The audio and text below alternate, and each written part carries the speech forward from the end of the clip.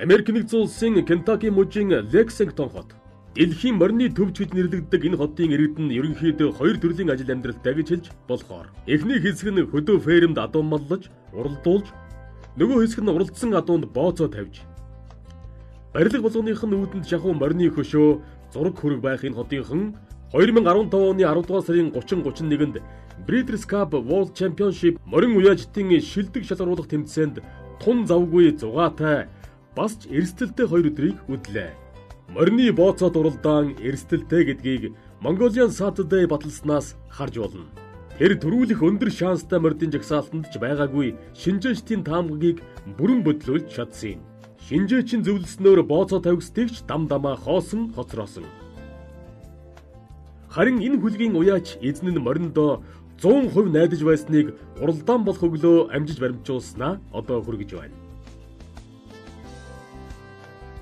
Энэ дэлхийн том уралдаанд оролцох бол үнэхээр Монгол хүн болгоны мөрөөдөл байгаа.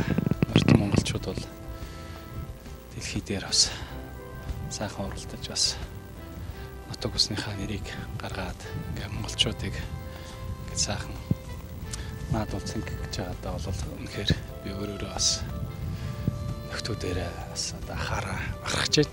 Үнэхээр сайхан байна.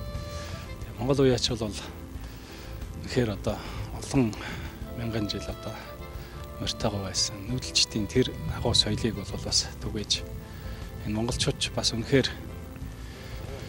үнэхээр одоо хоосонгүй улсууд байна. Одоо морьтойгоо бол үнэхээр дэндүү орох юм байна гэдгийг бас харуулж чадж байгаа даа бол үнэхээр үнэхээр их баяртай байна тий. Энэ сайхан урдан буянгаа бол сайхан уралдуулж байгаа нь бол одоо манай Ганбатын маань бол үнэхээр нөр их хөдөлмөр. Одоо үнэхээр өнөөдөр одоо тэгээд энэ дэлхийн аврах хэмээх энэ мундаг уралдаанд Монгол мөр уралдах гэж байгаа нь бол үнэхээр гэдэг манай монголчуудын одоо бас том аз хэмэр юм даа л гэж бодож байна да. Мэдээж одоо тэгээд уяач болгон өсөн мөрөө төрүүлэх нь айрагдуулна гэж мөрөөддөг. Тэгээд тэрний жишгээр өнөөдөр бас монголчуудын маань сайхан уралдах байхаа гэж бас гордож байна. Тэгээд бас залбирж байна да.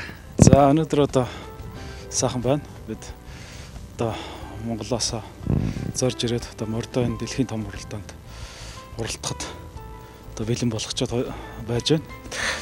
Сэтгэл их өндөр байна. Сайхан байна да. Манай олон улсын тренер Ганбат маань энд мордын маань ууж одоо уяас болгонд тааруулж байгаа.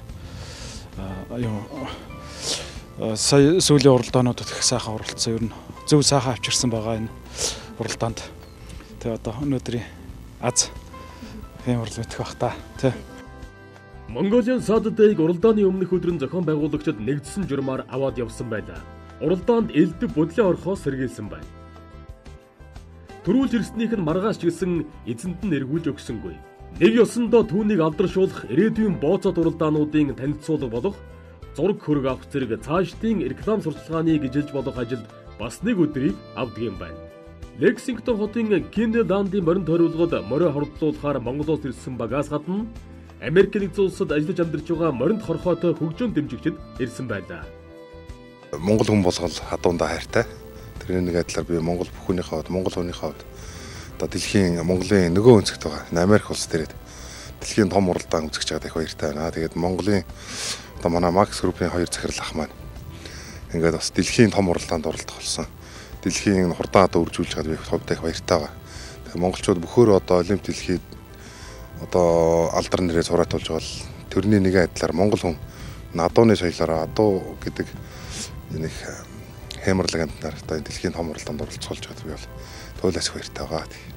Дэлхийн морины чуулганд монгол хүний одоо өөрөө сонгож уйд сойж байгаа морь одоо хэд минутын дараа авар болохын төлөө төрүүлэхийн төлөө гараан дээр ирчээд байна. Тэгээ энэ торгон мөчид Монголоос ирсэн энэ Америкт амьдарч байгаа монголчууд цугулсан их сайхан баяр дүүл явуулж байна.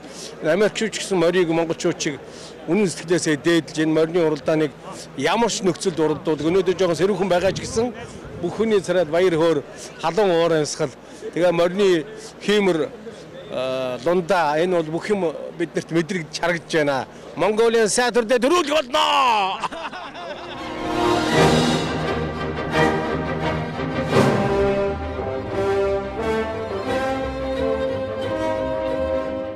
Нь дэлхийн хурдан морины төвхөнд Эренбэрэж нэр хүн дээрч дээгүүрт бичигддэг уралдаан.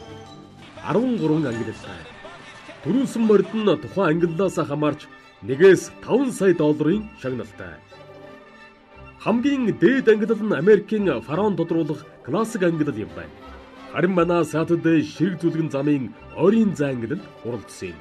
Зөвхөн ингэж уралдахын тулд өөрөөр хэлбэл морины уралдаанд дээд зэндаанд орохын тулд тодорхой амжилт гаргасан байх ёстой.